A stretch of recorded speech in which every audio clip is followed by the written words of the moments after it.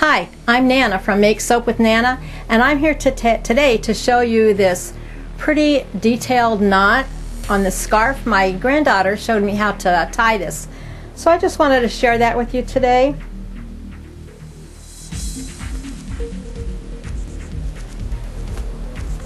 Now all you do is just take your scarf, put it around your neck, and you have your, your loop. Well, you take one of your ends, put it through your loop, flip your loop, and then take the other end of your scarf and put it through the bottom of the loop. And there we go. Isn't that pretty? You double your scarf.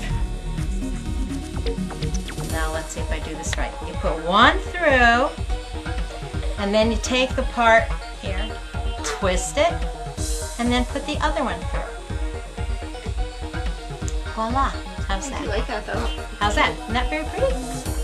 Thanks a lot for stopping by. See you soon. Thanks, Emma. Bye.